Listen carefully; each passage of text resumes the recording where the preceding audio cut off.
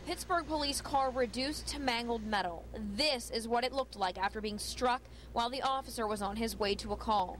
I was up on the third floor and I heard sirens, and then I heard the crash, which I thought was weird. Kevin Smith lives a few houses down from South Aiken and Friendship. I looked out the window, I saw the police car and the ambulance and came out, and bunch of people here already trying to help the guy out of the car. The officer and a couple other units ahead of him were on their way to a call of a man with a gun when the officer's car was struck by this LifeStat ambulance. This video shows one of the victims being put into an ambulance. The LifeStat ambulance driver went to UPMC Presby after describing neck pain. The officer appeared to be okay, which is incredible considering his car was nearly demolished.